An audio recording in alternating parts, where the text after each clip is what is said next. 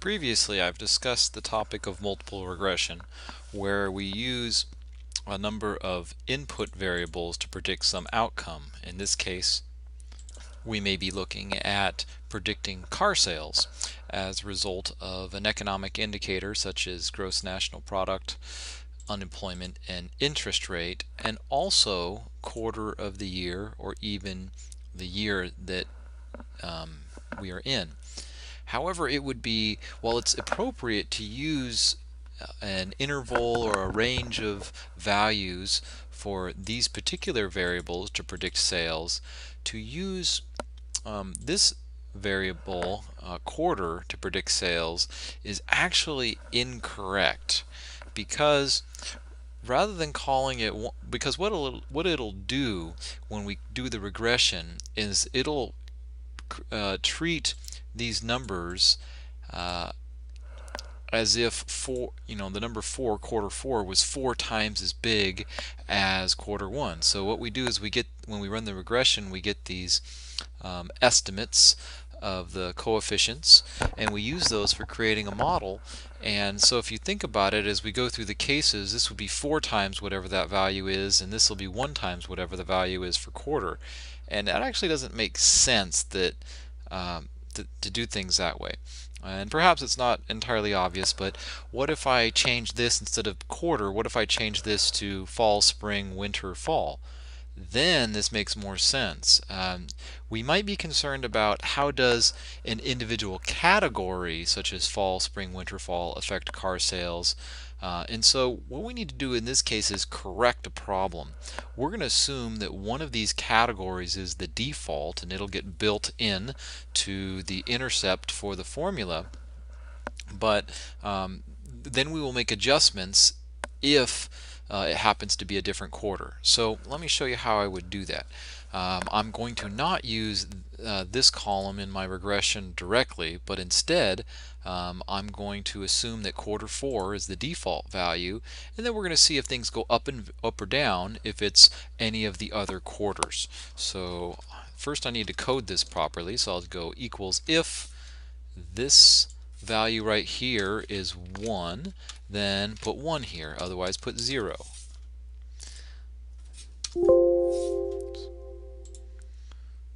Uh, sorry, if b11 equals 1, then put 1, otherwise do 0.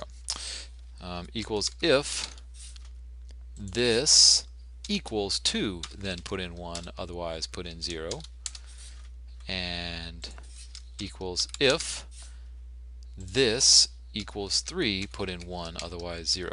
So we call this a dummy variable.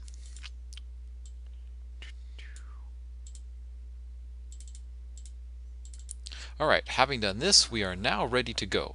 So I will do uh, data, data analysis, uh, looking for regression. Here's what I'm trying to predict.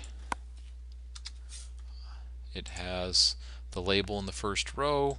I want to predict it by all of these things.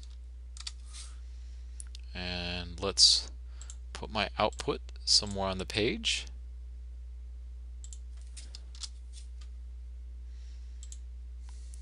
There we go. So uh, what this is telling me is that my adjusted R-square is 0.75, so it actually looks pretty good.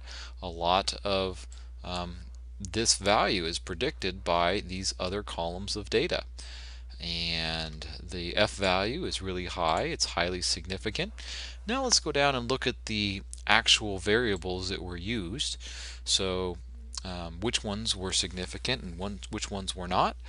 Uh, our intercept value so is significant um, and then we have a GNP value which uh, is significant unemployment is significant the interest rate is significant the quarter eh, that's kind of not significant because it's above 5 so it's questionable 0.05 quarter 2 is significant and quarter 3 is not significant. So we're pretty sure then that as we go from quarter 4 to quarter 2 that there's an increase in sales of 345. Um, so again, we might call this like winter, like spring versus winter or something like that, because these are just categories we're comparing. And we're saying that um, things get better in this quarter compared to the other quarter. Uh, another thing we, I should just point out here is look at the uh, sign on these coefficients. Gross national product is a positive thing. As that goes up, the economy is doing better. So um, for each unit increase in improvement in the economy, we get an improvement, positive improvement by this value in car sales. Uh, as unemployment goes up, we get a corresponding decrease for each unit of employment it goes up of, of 123 decrease in car sales. That makes sense. And as the cost of buying cars goes up, as the interest rate goes up, the number of cars sold goes down by a factor of 42 for each unit increase in interest rate. And um, as I've done in the past, I could create a formula with this. I can say equal, so I could say like cost equals um, 2992.091 plus 0.199 times G, GNP minus 123.928 times unemployment. So I could continue this way plugging in all the numbers that I found right here and then once this is complete I could potentially um, use that and replace these uh, generic terms like GNP with the actual number for that row and then I could create a column of actual predicted values. Alright, now I'm going to talk about this idea of lagged variables. Uh, so one of the problems we had before was that we didn't consider that one of our variables uh, was actually a category and not a number and so we, we, we handled that by doing this. Um, here's that this is kind of written out a little bit strangely.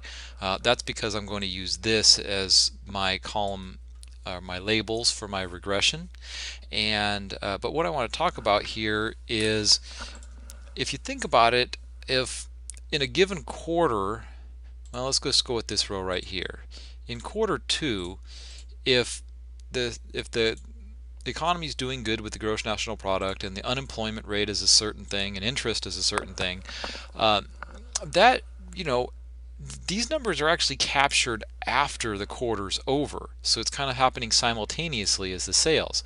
Wouldn't it make sense that if the economy got substantially better at some point or if it got substantially worse because of interest rates or unemployment rates that there might be a, a delayed effect of those of those things of those changes and so to the, the answer is, is yes. I mean, chances are if people start getting unemployed in large quantities in one quarter of the year, that that'll be reflected in the next quarter's auto sales. And so in order so what we can do then is take things from the previous quarter and use that as our input for the current quarter's regression. So we're actually not going to use these at all. That's why I don't have them colored.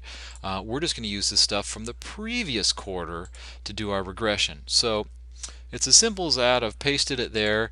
I just need to do a regression now. And I will select my sales range. I will select the variables for my uh, regression and I need to pick a place to print these things out. And I now have an adjusted R squared that I could read an F value, a significance value for that, so my model matters, it's significant, and I can read which of these variables appeared to be significant. And as I look through the list, all of them were useful, we're confident that they're useful in predicting uh, what car sales will be in a given month. Now it's just an artifact of this data set that I'm working with that it looks like my R squared actually got a little bit worse by doing this lagged variable approach. So it looks like it's a little bit worse, but that might just be an artifact of the, the data that I'm playing with. I'm not sure if it's real data or not, but at least from a intuition perspective, it seems like this approach would of lagging the variable by a quarter would probably normally be more accurate than the other approach where you measure it after the fact. Plus, it's more useful doing it this way because um, you might want to be estimating your car sales in the upcoming month and uh, perhaps knowing what last month's um, sales are would be helpful in that. Or actually what what last sorry quarters economic indicators were might be useful for that.